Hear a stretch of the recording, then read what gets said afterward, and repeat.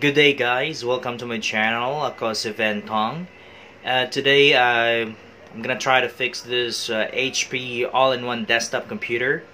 Um, it has some issues with this uh, touchscreen, um, with its touchscreen. Uh, there we go, as, as you can see there are white, white touches over there. Okay, if you, if you see that. Uh, there we go. Okay, let's wait for another. Okay, there. Okay, so I, am I'm, I'm sure that's enough uh, for for you to see those uh, white touches. Okay, so what I'm gonna do because the the owner of this computer actually uh, decided not to replace the touch screen or the the board wherein the the the the screen is attached okay? Because other way uh, might be the the screen itself that is actually damaged or we might need to replace the the board for for the touchscreen option. Now what I'm gonna show you guys is how to disable this touchscreen option in this computer. So that's our a solution to this problem because the owner, as I've said, um, as I've said, he don't want to replace the touchscreen on this uh, computer or maybe the board.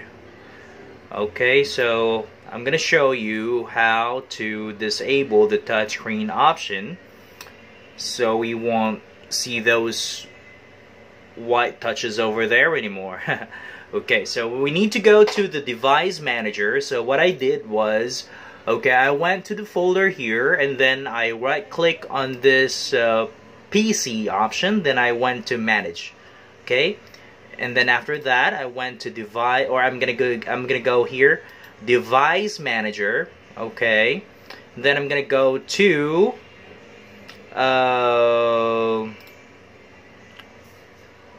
computer display. Here here. Uh, human interface devices. So this is this is where we need to go all right? So I'm gonna go here and then I'm gonna disable this HID I'm not sure if you would be able to see that. Okay there. Okay. All right so HID compliant touch screen okay? All right so I'm gonna disable this part right here. Just gonna right click on it and then click on disable device. Okay? Alright, disable device, then yes. Oops. Alright, so it went down here again. Okay, those touches actually bringing this mouse down to the bottom. So I'm gonna click yes. Alright, there we go and the touchscreen option is now disabled. So as you can see, there are no white touches over there anymore. Okay, I'm not sure if you could do this with uh, uh, with those latest uh, HP all-in-one de desktop computer with uh, touchscreen option. If you might encounter those kind of problems with uh, touchscreen uh, option in your computer, so there we go. It's disabled now, as you can see that, alright? So, HID compliant touchscreen, okay? Alright, so it's completely disabled, and I'm gonna close this down.